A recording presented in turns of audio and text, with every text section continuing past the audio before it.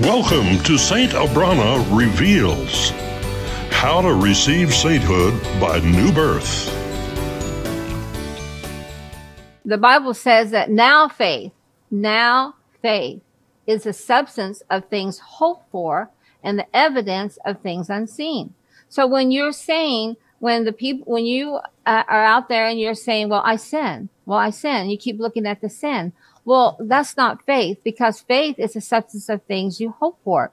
And so what are you hoping for? So in the flesh, you hope to be righteous. You hope to be holy. You hope to be, you hope to be mm-hmm. all the things that you want to be but in the flesh it's not going to happen but in the spirit it happened so now faith is the substance of things hoped for. That faith is what you contend for.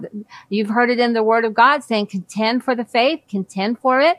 Well, when you speak those things as though they be not, the Bible says, as though they are. So you speak, you say, I am holy. I am righteous. I am pure. I am a child of God. I am a spirit. I'm a new creature in Christ Jesus. You quote those. There is scriptures for what we're saying. We're not just sitting here just saying this. There is the word of God and it says to call those things forth as though they be not. What are you going to be calling for? I'm telling you right now, I am not calling forth a car. I am not calling forth a new house. I am not calling forth a, an expensive bag. I am not calling forth those things that the world has taught you. The religious apostate church has told you to to believe for. And that's been their whole, that's how you knew that you thought a Christian was somebody that was very prosperous, making a lot of money and, and, and, and could have faith in that manner. That's not what the Bible is teaching. It's teaching you to call forth those things that, that, that you're, that you that be not as though they are. So when you say to yourself, well, I'm not, I am a sinner. Well, okay. Is that what you want? Or do you call those things as though they be not as though they are? Are you saying I'm righteous and I'm holy because that's what God says I am? And I'm going to believe his report. I'm going to say what he says. And I'm calling forth the things that are righteous and holy and pure.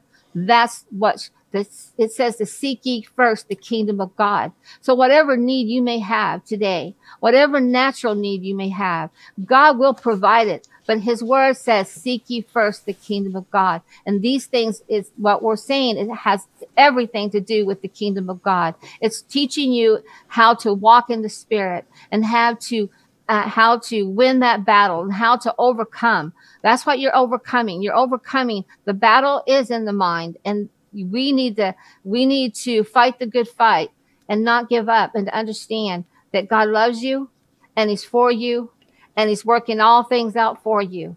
All we have to do is believe for what he did. Believe it. Believe that he loves you with an everlasting love. He'll never forsake you. He'll never leave you. And he's, he's there. He came into you to sup with you and you with him. You have to believe.